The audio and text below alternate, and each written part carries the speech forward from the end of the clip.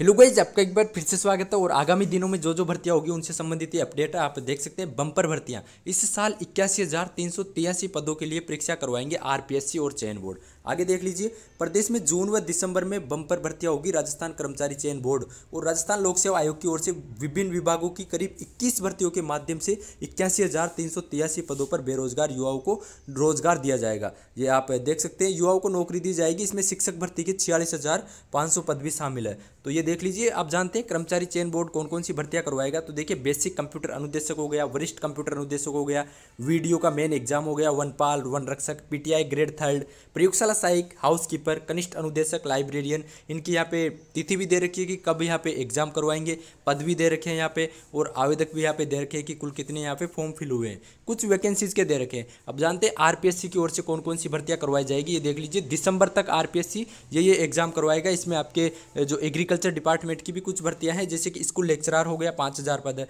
School lecturer Sanskrit विभाग हो गया, इसके एक सौ दो पद है। वरिष्ठ अध्यापक भर्ती के नौ हज़ार सात सौ साठ पद है। वरिष्ठ अध्यापक संस्कृत शिक्षा के चार सौ सत्रह पद है। कनिष्ठ भूजल वैज्ञानिक तकनीकी सहायक रसायन विज्ञान है। इसके अलावा देखिए एग्रीकल्चर डिपार्टमेंट की बात करें तो यहाँ पे दो पद दे रखे एक तो देखिए एग्रीकल्चर रिसर्च ऑफिसर के, जो कि सत्ताईस से तीस अगस्त को होगा, इसके नौ पद है। फिर असिस्टेंट एग्रीकल्चर रिसर्च ऑफिसर को यह भी सत्ताईस और तीस अगस्त को होगा, और इसके यहाँ पे पद दे रखे टोटल तेरह पद। तो ये एग्रीकल्चर के दो पद थे जो कि दो वैकेंसी थी जो दे रखी है। बाकी ये देख सकते हैं, आगामी दिनों में जो भर्तियाँ होगी उनसे संबंधित अपडेट था। और कोई अपडेट होगा तो हम आपको तुरंत दे देंगे।